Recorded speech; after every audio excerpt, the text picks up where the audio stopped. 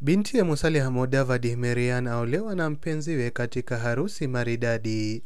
Marian Mudavadi na mpenzi wake Nyaga Karanja waliimarisha muungano wao katika sherehe nyingine inayojulikana kama kuwara Itara mnamo Septemba. Bintiye katibu mkuu wa mawaziri na mchumba wake sasa wamefunga pingu za maisha katika harusi ya kifahari kanisani na kuwaduaza watu mitandaoni. Harusi inaendelea kwa sasa na Musalia Mudavadi alikuwa kando ya bintiye huku akiweka viapo na mpenzi wake. Takriban miezi miwili baada ya harusi yao ya kitamaduni, bintiye Musalia Mudavadi Marian Mudavadi amefunga pingu za maisha na mpenzi wake. Marian na mpenzi wake wameimarisha uhusiano wao mbele ya familia zao na marafiki kama mashahidi.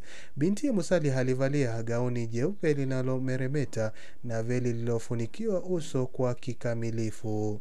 Wazazi wake Mudavadi na mkee walisimama kando yake wakitamka baraka kwa wapenzi wao hao wapya. Kanisa waliloliweka nadhiri lilikuwa kubwa sana na lilopambwa kwa maua ya majano na meupe.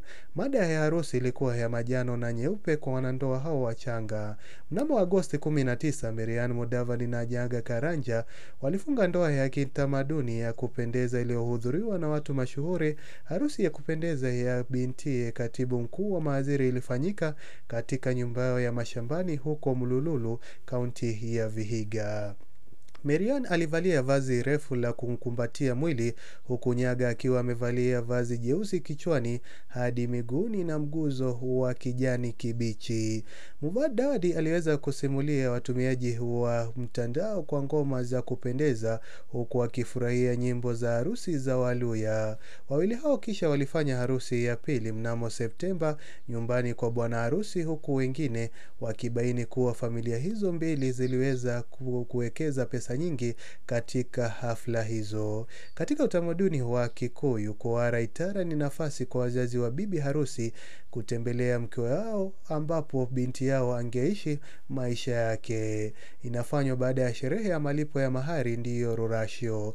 Nyaga na Marian walivaa mavazi ya kahawia yanayolingana kwenye hafla yao. Nyaga alivalia suruali ya beige kofia iliyolingana shati refu la kahawia na shuka jekundu la Kimasai lilokuwa limejifunika mabegani mwake.